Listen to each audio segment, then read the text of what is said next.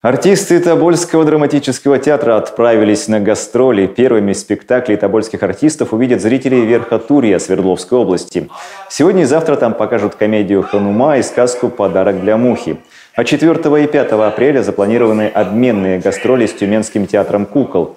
В год 200-летия Александра Островского спектакль на бойком месте примет участие в 13-м Всероссийском фестивале «Островский в доме Островского» в филиале Малого театра в Когалыме. Продолжатся гастроли в Ханты-Мансийске и Нефтеюганске. Помимо классики Островского, зрители увидят спектакли «Медведь» и музыкальную сказку «День рождения кота Леопольда».